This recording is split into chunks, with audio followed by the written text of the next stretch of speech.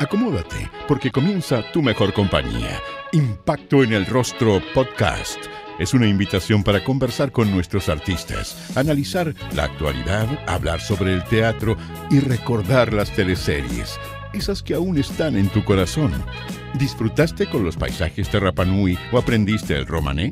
¿Te reíste con la martuca o lloraste con la muerte del peyuco? Si es así, entonces estás en el lugar indicado. Te invitamos a acompañar a Jorge Peña y sus invitados en Impacto en el Rostro, tu mejor compañía. Hoy es el turno de Andrea Freund, quien tendrá su impacto en el rostro. La actriz, directora y productora teatral debutó en televisión gracias a su rol de Saro Yarsun en Champaña ¿De qué se trataba? En medio de una fiesta de máscaras, Sara era encontrada muerta en extrañas circunstancias. ¿Te acuerdas que la asesina era el personaje de Amparo Noguera? Estaba recién egresada de la escuela de teatro, fui a un casting, bueno, hice muchos castings para, para, para dos canales, no para TVN y Canal 13 los que estaban trabajando en ese momento con área dramática, y quedé en los dos canales. Esa es una historia que muy poca gente sabe. Y mm, yo le di la mano a Oscar Rodríguez como, ya, ok, sí, voy a estar contigo. No, perdona, Christian Mason, el que es como que mi descubridor. Y luego, en el TVN, la Kena Rencorer también me dice, oye, Andrea, quedaste también. Y yo, como le había dado la mano a Mason, le dije a la Kena, pucha, que quedé con Christian Mason. La Kena me dijo, ok, nunca más me llamó en la vida hasta el día de hoy. Y yo a lo mejor creo que fue el peor error de mi vida, porque después llamó a la Paola Volpato para lo que me había llamado a mí. Y claro. ¿Y para qué te era, una... era Andrea? Era para, una que era, eh, no me acuerdo, no me acuerdo, la que competía con Champaña, que obviamente fue un exitazo, y era como la mejor amiga de la Ángela Contreras que terminó haciendo ese papel la Volpato, me acuerdo. Ah, ya, debe ser rojo y miel. Es rojo y miel, lo más probable. Y ya, pues bueno, fue, hice champaña, que por lo demás fue súper divertido, porque no es que yo muriera en el primer capítulo, yo siempre estaba muerta. La teleserie rondaba un poco en la historia de quién mató a Sara. Entonces, claro, el personaje era supuestamente como central, pero no era protagónico. Primero yo tenía muy pocas escenas que eran solo del recuerdo de algunos personajes y de repente se dieron cuenta que como habían escrito la historia, nadie conocía a este personaje. Entonces, ¿quién le iba a importar por qué murió Sara si no tenían material para entregar quién es esta niña? Y como locos empezaron a inventar escenas, tuvimos que improvisar. Yo lo pasé chancho porque me tocó de piquero entrar a grabar con Alfredo Castro, Gloria Muchmayer, eh, el Pepe Secal, eh, o sea, todos eran top. Así que imagínate, bueno, eh, tuve también el honor de estar con la, ¿cómo se llama? Ahora se me olvidó el nombre, gran actriz chilena, una de las únicas que ha trabajado en Hollywood vieja. Malugatica. ¿Cómo me olvidó el nombre de La Malugatica, maravillosa, que de ella aprendí muchas cosas, fue mi maestra. Entonces, claro, tuve la fortuna en un sentido que aprendí mucho en esa teleserie, porque realmente aprendí. Y bueno, y después además hice mi carrera en el Canal 13, pero por otro lado, con el tiempo, resulta que la Kena nunca más me abrió una puerta. y también la entiendo, porque fue como, ya, ok. Ahora yo le dije, le di la mano, y yo soy súper así como, pucha, no conocía a nadie, estaba recién saliendo de la escuela, entrando al mundo de la televisión que te voy a ser bien sincera, no, no era algo que me volviera loca, lo que pasa que había que trabajar, había que tener plata, a mí lo que me interesaba era, yo estudié teatro para tener mi compañía de teatro, para hacer teatro, eso era, por lo menos en mi generación funcionábamos así, la televisión era como, oh, a lo mejor, quizá, pero se dio la oportunidad y había que pagar cuentas, en fin, yo ya tenía una hija, entonces había que vivir, y ya, pues dije, ok, le damos, y claro, y quedé ahí en ese personaje, como te cuento, pero fue bien, bien historia esa, esa, esa primera teleserie mía. Andrea, ¿y qué te pareció la propuesta, Champaña? Ciútica. No, Canal 13, ciútica, me maquillaban como un mono. Toda esa parte de la presentación con los ojos, la cuestión, no, no me gustó. no, te, no te gustó, pero lo pasaste bien, sí. No, aprendí mucho, le agradezco a Mason hasta el día de hoy, porque en realidad pues yo trabajé harto con él, me adoraba, yo también súper buena onda, pues nos hicimos muy amigos, además con Ana María Guasmuri, que era su época su pareja. No, pura buena onda, no nada que decir en ese sentido. O sea, humanamente hablando, yo tengo re buenos recuerdos de, la televisión. ¿eh? En el segundo semestre del 94 fue una de las protagonistas de la fallida apuesta de Canal 13 Top Secret. Ahí, Andrea fue la hija del diputado Santiago Mena, interpretado por Cristian Campos. Sí, fue un buen año, sí, me gustó. Eh, además que teníamos un equipo muy entretenido, pues mi hermana, la Vivi, la Tamara y yo, éramos el trío dinámico todo lo que no se vio delante de las cámaras fue lo mejor. lo pasamos muy bien. Yo lo pasé muy bien haciendo esa teleserie. Tengo buenos recuerdos también de esa teleserie. Esta teleserie fue dirigida por Oscar Rodríguez, Top Secret, ¿cierto? Oscar Rodríguez, sí, claro, sí, porque yo partí con Mason, de ahí me fui con el Oscar Rodríguez. Y en algún momento me imagino que te tocó también con Ricardo Vicuña. ¿Qué te parecía el trabajo de estos tres directores, eh, Andrea? ¿Con quién tuviste más feeling?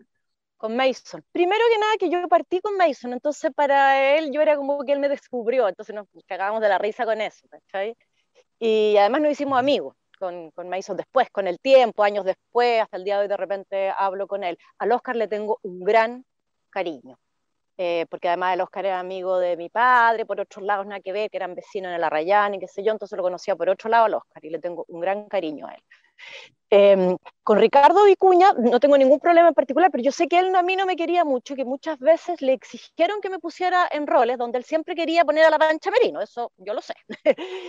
y, la nene Aguirre, que era la productora también bacán, le decía, no, no, pongamos la Freud, pongamos la Freud, eso me lo dijeron a mí, o sea, no nadie me lo contó. Entonces yo ahí tenía como que defender el, el, estar ahí. Y de repente tenía un trato en Vicuña, como que ese trato que hoy en día, imagínate, pues, absolutamente inaceptable. Entonces ahí uno como que, bueno, uno aguantaba nomás, no queda de otra, ¿cachai? Pero no, tampoco ningún reparo en, particular, ni, ni, una mala onda, ni nada. Pero tenía más buena onda con Mason y, y mucho cariño a Oscar Rodríguez. Avancemos en el tiempo, vamos a Eclipse de Luna, el año 97. ¿Te acuerdas de Eclipse de Luna, esta teleserie grabada en la sexta región? Me cargo que le hemos puesto. ¿Por cómo? Perdón. Narincagüe, no, Nancagüe, perdón, Nancagüe. Lo que pasa es que pegarse el pique todos los días para allá era un tema. ¿Se quedaban a alojar allá? condiciones, no, no había dónde alojar. Ojalá hubiéramos alojado, ¿no? Era ir y volver y las condiciones, por suerte teníamos una parroquia donde podíamos hacer pipí. las condiciones eran parpérimas. Ahí era mi hermana Lalín, que ya éramos amigas de siempre hasta el día de hoy, entonces nos entreteníamos mucho juntos. O sea, el rating nunca fue un gran tema, porque en realidad no era nuestro problema. Porque también dependía en el horario que la pusieran y en un montón de otras cosas. Eh, ahora, obvio que uno quería estar en una teleserie que le fuera bien y obviamente que Vicente Sabatín era top. O sea, como uno no iba a querer trabajar con él. Eso sí, obvio. En el 99 trabajaste nuevamente con Oscar Rodríguez en Fuera de Control. Ahí interpretaste a Isadora en esta teleserie que tampoco ganó, pero que con el tiempo se convirtió de culto. Te voy a ser súper sincera. Yo no estaba en ese elenco, ¿ya? No me acuerdo bien la situación, pero no sé por qué me metieron a hacer ese personaje que era la secretaria de Willy Sembler, parece. De un periódico. Bueno, la cuestión es que yo en esa teleserie estaba como de peón, no sé, o sea, estaba ahí media como que no cachaba nada, para serte bien sincera, porque todo funcionaba como por otro lado. Yo estaba metida ahí, como que me acuerdo que tenía que actuar con el Boric, con el Willy, esa eran como con la gente que yo actuaba no, no, no, no, tenía mucha más participación con los otros actores ni en la historia central, entonces estaba medio ahí como, como te digo, con vida de piedra. y me acuerdo mucho de la teleserie. pero, tenías como conciencia que esta teleserie se transformó de culto, que los roles de Luciano Cruzcoque y de... Ah, ¿era la Mellafe? La Mellafe, claro. Sí, sí, sí, sí, con el tiempo después sí, obvio. Yo siempre he dicho y lo mantengo, el hacer televisión era como un training, como cuando uno va a un gimnasio. ¿Ya? Ahora, no tiene nada que ni con hacer cine, ni con hacer teatro, ni con hacer performance, ni con hacer eh, danza, teatro, ni, ninguna de las otras cosas que yo he hecho. Y no, te voy a decir que me volvía loca hacerlo, obviamente que uno lo hace por una situación económica, pero te tengo que reconocer que hoy en día que uno está tan out de las pantallas, por supuesto que echáis de menos la televisión, obvio, tanto económicamente como con las ganas de, de estar con el equipo el día a día, trabajando, con ese training. Sí, te extraña es verdad. Rosario Gaete, la Charito, fue su personaje en la recordada Romané. En la historia grabada en Mejillones, fue una profesora que siempre estuvo a favor que los gitanos pudieran asistir al colegio. Comprometida con Rafael Domínguez, fue hija de los roles de Delfina Guzmán y Óscar Hernández. A pesar de haber vivido una historia de amor junto a Mirko, el gitano finalmente decide alejarse de ella e irse con su pueblo. La Charito, la quiero mucho, la Charito. Lo que pasa es que no solo el personaje, esa teleserie es una teleserie icónica. ¿ah? La han repetido cuántas veces. El, el, trabajo ahí fue maravilloso desde todos los puntos de vista, desde la investigación que se hizo para trabajar con los gitanos hasta el elenco, lo que, todo lo, bien que lo pasábamos, el hecho de estar ahí sí que era todo top, pues viajábamos una vez a las, una vez durante el mes, nos íbamos una semana una semana al mes teníamos que estar en, allá en el norte, en Mejillón, además maravilloso, y fue una gran experiencia a todo nivel. Además, trabajé con Sabatini, que era algo que obviamente yo tenía ganas de hacer. Andrea, ¿y cómo surge esta invitación? ¿Quién te llamó? Sí, me acuerdo perfecto. Me llamó la secretaria de Sabatini. a ver, este papel era para la Ángela Contreras y la Ángela se quedó embarazada. Y llamaron a la Lin y a mí. Y la Lin se estaba yendo a Francia. Entonces fue como, Andrea, vente ahora. Y tuve que hacer igual un casting, tener una reunión tanto con Vicente como con Claudia Di Girolamo también. Y yo dije, bueno, veamos qué pasa. Y después me llamaron y me dijeron, ya, ok, vente. Y entonces no renové con el Canal 13 y me fui ahí sí a TVN. Andrea, en esta teleserie tenías una familia bastante particular. Tu mamá era Delfina Guzmán, tu papá Óscar Hernández y tenías un hermano que era bastante insoportable, que era interpretado por Álvaro Espinosa un honor trabajar con la Delfina.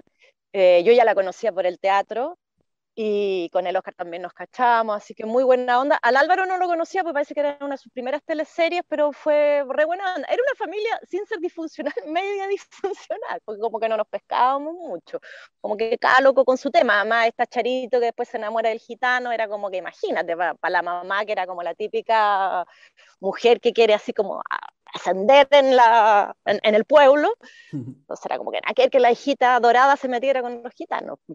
Entonces yo era como la oveja negra de la familia, o sea, se terminó convirtiendo en la oveja negra de la familia, tan, tan así que cuando tenían dos finales, como los chilenos no nos podíamos casar ni hacer pareja con los gitanos, por una orden gitana y todo un cuento que hubo, no se les ocurrió nada mejor que mi personaje se volviera loca.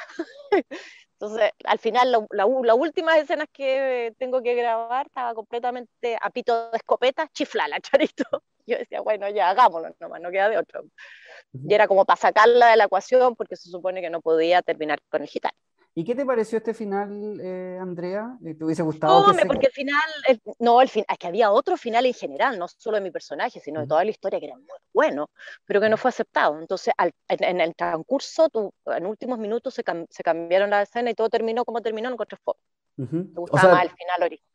¿Y cuál era el otro final que te quedabas con Mirko? todos, todos se quedaban juntos, pues, se escapaba la, la, gitana con el cura y todos, los, todos, todos, claro, yo me quedaba con Mirko, había matrimonio y todo cuestión. ¿Y qué te pareció esta dupla que hiciste con, bueno, primero con Francisco Melo, porque partías, eh, tu personaje partía comprometida con Francisco Melo? Claro, la relación con Francisco era como la típica relación así con Milfo de la parejita, que era como aceptada y que se supone que ellos llevaban ya años de noviazgo, él con todo su rollo de esta gitana, que en el fondo había sido el amor de su vida, que lo había abandonado, y, la madre, que era una jodía, que era la María González, maravillosa, de otra mujer increíble, de la cual es un honor haber trabajado con ella. ¿Y era muy dura contigo, Andrea? Porque eh, algunos actores nos han contado, como Néstor Cantillana, que era cosa seria María González. ¿Cómo, ¿Cómo, viviste tú? María González era cosa seria, pero a mí me encanta la gente cosa seria, así que yo, más duro, mejor. sí, no, maravillosa. Es que ella era así, tenía su carácter, ella. Ella era como española, la encontraba yo, tenía como que golpeaba fuerte la mesa. ¿Cómo recuerdas el éxito de Romanet? Sí, pero, sí, pero nunca he pescado mucho eso, entonces no, no, no sé si lo viví, pero sí, obviamente la teleserie tuvo un éxito. Lo más emocionante fue, me acuerdo el día que estábamos allá en Antofagasta, vimos el primer capítulo y tuvo como 60 puntos de rating. Es una cuestión increíble que no la podíamos creer.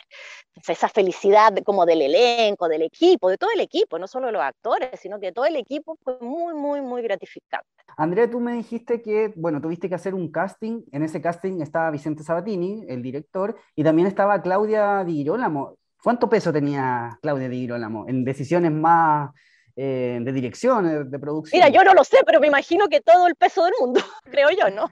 Lo mejor que tenía Charito, eh, Andrea. Ay, que era dulce, era como media la Charito. Imagínate enamorarse del alumno gitano hay que ser muy pava. Era linda el personaje. Yo la encontraba como una hija, ese personaje, como muy así, pueblerina, profesora, cariñosa, generosa. Para tener esos papás era como de otra película ella, así como de esa familia, era como, como de ella salió de esa familia. Eso era como divertido. Y lo más valorable quizás era que defendía la, la educación de los gitanos, o sea, ella quería que Mirko y el personaje de Amparo Noyera que te había matado en Champaña, eh, fueran a la, a, la escuela.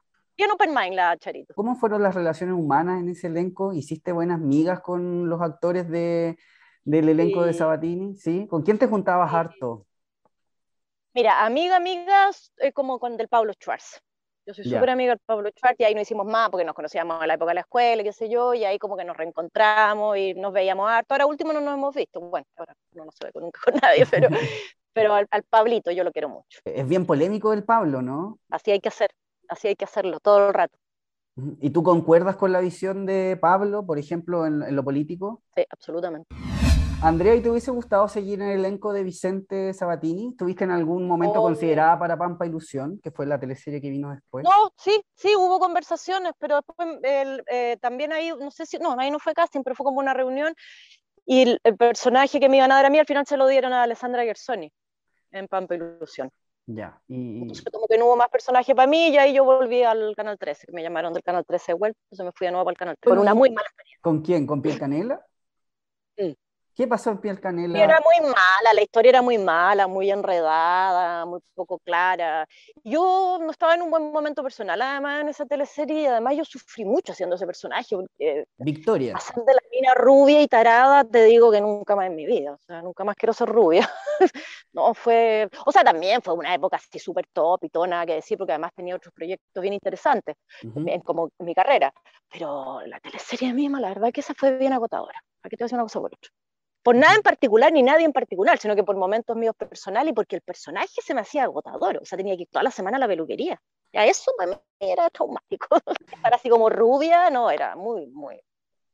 Tan, tan así que al final el personaje empezó a desarmarse y me hacen tener un accidente y después yo dije, no, chao, no quiero ir más a la peluquería y que empiece a aparecer el pelo como sea y que sea lo que sea. Dijeron, ok, y ahí ya como que se desarmó el personaje. Y ahí yo fui un poco más, estuve más cómoda en realidad, porque antes la verdad que era todo muy raro. Era rara esa teleserie. ¿Y en, en, algún momento te llamó la atención que se retratara el mundo de la televisión? ¿O siempre fue como extraño eso? No, lo encontraba todo extraño. No me gustó esa teleserie. ¿Y, y, qué opinaba Mateo Iribarren, que estaba dentro de los guiones? ¿Qué, qué, cuál era el ambiente dentro de los no, nada, pues, era, era más eso lo otro, pues yo estaba con él, entonces era como todo, no sé, no, no era cómodo. Para mí no fue como, él, él tampoco tenía, él recién ahí empezó a hacer teleserie, entonces yo creo que tampoco tenía mucho training. Eso también yo siento que puede haber pasado. Ahora, igual estaba el Pablo Illanes ahí también. Don Floro, School, Me Too fueron las series de Mecano en donde Andrea tuvo importantes personajes. ¿Cómo lo habrá pasado? Mira, ahí yo me quedé como sin contrato y yo tuve ahí mi segundo hijo. Entonces, claro, me llamaron del Mega, me hicieron un excelente contrato, todo bacán, y me puse a hacer lo que me pidieran, porque hasta querían que hiciera matinal, y ahí como que dije, ya no, ¿cachai? O sea, por lo menos rayamos un poco la cancha, porque si no te desperfiláis, pues empezáis a hacer de todo. Entonces me metían en todas estas cuestiones, y lo más entretenido de todo fue que empecé a trabajar, a reencontrarme con antiguos compañeros de la escuela de teatro que estaban metidos ahí. Entonces eso fue bien entretenido, en el sentido de que además me daban mucha libertad, tanta libertad como que me pasaban plata para que yo me comprara mi vestuario, pude participar en producción, que me encanta a mí la producción. Entonces, en ese sentido, fueron, fue bien buena onda. Mi, mi, tengo un buen recuerdo de mi paso por Mega. ¿Tú crees que es necesario que los actores se tomen más la televisión, que ocupen otros puestos, como por ejemplo eh, que vuelvan la dirección de actores? Yo creo que uno puede hacer un aporte absolutamente, obvio, sí. No, y sobre todo por la visión que uno tiene. Porque tú, al, al, al, o sea, si yo por ejemplo estoy trabajando en una teleserie, estoy claro, delante de la cámara, pero eso no significa que yo no tenga la visión de lo que está pasando atrás de la cámara, o que lo que pasa in situ, que no lo que se ve cuando dicen acción, sino que lo que está pasando después, o cuando estamos ensayando las escenas. Hay muchas, muchas instancias donde uno puede aportar como actor, no solo actuando. ¿Y qué te parecían los chicos de Mecano actuando? ¿Le, tenían, ¿Le ponían empeño? Uno era más talentoso que otro. no me acuerdo de ninguno, así que no me pregunté nombre, pero Sí, pues algunos tenían más talento. A Carla Jara, por ejemplo, me acuerdo, pues yo hice mamá de ella, entonces tenía que grabar tú con ella y la encontraba talentosa la Carla. Fuiste parte del elenco de Maldita. Interpretaste a María Teresa Rizo Patrón. Esta teleserie es basada en un caso real de la vida. ¿Crees que son referentes que faltan en televisión, los casos basados en la vida real? Ah, esa sí que no me acuerdo. ¿No te acuerdas? Maldita, que era protagonizada por Loren Prieto. ¡Ah! Esa cuestión terrible, ¿no? Y yo, sí, oh, esa teleserie. que sí, pueden haber casos reales interesantes, pero ese era muy macabro. Yo encima tuve que hacer la abogada de ella. Sí, ahora me acuerdo. Era bien terrible. Dedito para arriba, dedito para abajo para esa producción. Para abajo. Yo también ahí participé re poco, ¿ah? O sea, me llamaron cuando ya la cuestión estaba andando para hacer este papel de la abogada. Me acuerdo que ahí me tocaba actuar con la Ángela Castro. No, con la Angélica Castro. Y entonces buena onda porque es bien amorosa y nos hicimos amigos y qué sé yo. Como yo saco experiencias también, no solo como profesionales, sino que como de la gente que uno le toca, eh, claro, conocer y, y, relacionarse. Pero tampoco participé mucho en esa teleserie, como te digo. Ah, la colombiana, la última, el año 2017, ahí interpretaste a Bernarda. Pues, algo me comentaste, ¿tú volverías a las teleseries si te invitaran nuevamente? Obvio, pues cómo no voy a querer trabajar. Es que hay actores y actrices que dicen de las teleseries nunca más. No, yo no soy yo la que digo nunca más. A mí las teleseries me dicen a mí nunca más. No, yo eso lo digo y no tengo problema en decirlo. No me siento ni humillada ni nada por decirlo. No, no tengo ningún problema en volver a hacer televisión. para nada. Sí, ahí también tuve una participación menor, también buena onda con el elenco. Además conocí a esta chica nueva que me tocaba ser la madre de ella. A mí siempre me tocaba ser como madre. Me tocó en un momento una teleserie ser madre de la Maite Rodríguez, que no me acuerdo cuál es Después me tocó aquí en esta ser de la, bueno, Josefina parece que se llama. Entonces, eh, entretenido conocer a estas nuevas camadas de actores que están saliendo, eh, me entretiene, me entretiene conocerlos y, uno también aprende de las cabros jóvenes. Entonces, también fue un papel menor, porque no, no me acuerdo haber grabado tanto ahí. Uno de sus últimos trabajos en series fue en Ramona, la producción dirigida por Andrés Good. Aquí interpretó a Patricia García, una mujer que tenía problemas con el alcohol.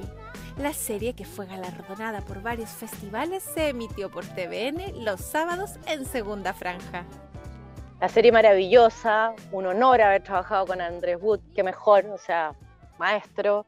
El elenco, además, maravilloso. Estuve ahí con la Gianni Frutero, que yo ya había trabajado en, en teatro con ella, además teníamos una relación media familiar por otro lado, entonces éramos, nos conocíamos muy bien.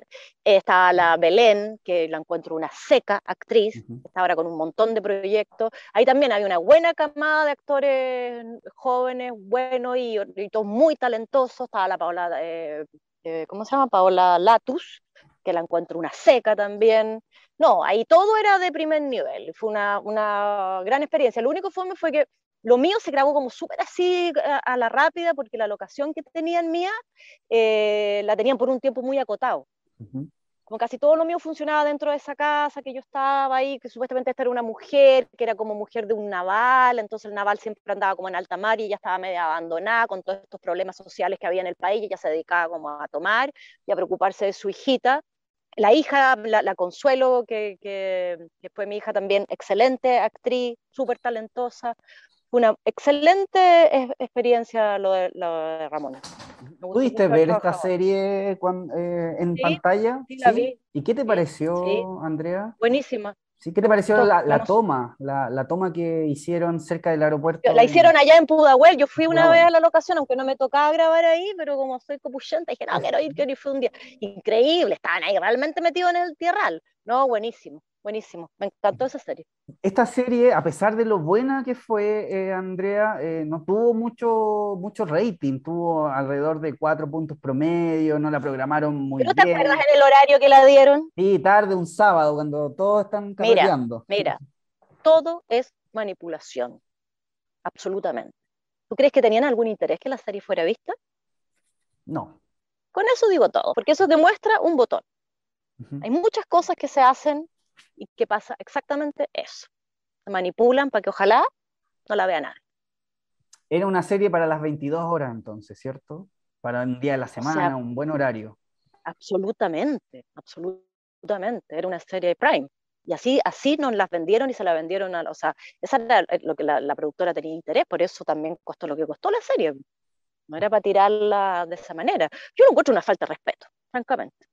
¿Y esto lo pudiste conversar después con el elenco, con, con el mismo sí, Andrés? Sí, era Vox todo el mundo lo sabía, pues era el colmo. ¿Qué decía Andrés? De haber estado furia. Yo con él personalmente no lo hablé, pero me imagino que no le ha gustado. Para la gente que nos está escuchando y que no la ha visto, ¿por qué deberían verla si tuvieras que hacer como una especie de invitación? Para que se eh, empapen de una época de Chile que es muy importante, sobre todo hoy en día, con lo que está pasando tanto a nivel nacional como mundial, ver de dónde viene, por, qué estamos como estamos hoy. Sirve ver una serie como Ramón. Es casi como cultura general. Así de, de importante. Oye, se fue una serie que, la, que yo encuentro que el papel mío era muy menor, que a lo mejor por eso se te fue, pero yo estoy súper orgullosa de haber participado ahí también en La Jauría. Era una escena precisa y concisa, pero yo después cuando la vi, dije, oh, y es raro que yo encuentre que algo esté bien mío. Y ahí quedé como conforme. Y eso era algo muy, muy, muy pequeño, pero... Andrea, ayúdame, esto fue en la, primera temporada, ¿cierto? Eh, sí, en la primera temporada de La Jauría. Sí, eh, yo hacía el papel de la madre de una chica que había sido eh, violentada y todo, y que ellos habían pasado por todo este trauma, que la niña obviamente había tenido que hacer un aborto y toda la hueá. Y entonces cuando llega la detective, me tocó actuar con la Antonia Segers a como a pedirme que yo, digamos, eh, apoye esto, que vaya a, la, a, la, a, los interrogatorios y toda la cuestión. Yo como que le digo, no. O sea, nosotros hemos sufrido mucho, tú no sabes lo que nos costó pasar por todo esto y, y a mi hija poder, todas las terapias y todo, para poder superar esto y tú ahora quieres que volvamos. No, no, no, no, no, no, no, no, no. Bueno, con de otra manera y qué sé yo, pero en el fondo es una mujer que tapa el sol con un dedo. Yo quedé tan conforme que me hubiera encantado que el personaje tuviera más continuidad, porque te digo, grabé solo una escena. Pero, pero sí, sí, me gustó la, la serie y me gustó haber participado hoy también. Durante la, la, emergencia sanitaria, el Ministerio de Cultura, em, dicho en palabras simples, no estuvo a la altura de las circunstancias, ¿no es cierto? Eh, no solo no estuvo a la altura, sino que no existió. No hay Ministerio de Cultura. ¿Qué es lo más urgente que hay que hacer con el Ministerio de Cultura? Yo creo que descentralizarlo eh, y que realmente sea un Ministerio de, Cultura, que, que no puede ser que todo sea concursable no, eso no, no, tiene ningún sentido, tiene que haber otra, otra manera de, de, repartir los recursos, de buscar recursos. Eh, como decía Alfredo Castro, porque hubo ahora, yo no participé, pero la Universidad de Chile parece que es un conservatorio que estuvo re bueno, donde se decía que los artistas somos trabajadores. Eso es lo más importante. Nosotros no somos una cosa rara, no. Y te estoy hablando de artistas como los bailarines, los músicos, la gente del circo, en fin, hasta los pintores, todos, todos los artistas somos trabajadores. Y tenemos que tener en el Estado, en la sociedad, e, e, e, ese nivel, no que nos traten como, ah, tú eres actor y qué, y qué más, ¿sí? No, eso no puede ser. Impacto en el Rostro Podcast es una invitación para conversar con nuestros artistas y recordar las teleseries, esas que aún están en tu corazón ¿Te reíste con la martuca o lloraste con la muerte del peyuco? Si es así, entonces estás en el lugar indicado. Impacto en el rostro, tu mejor compañía.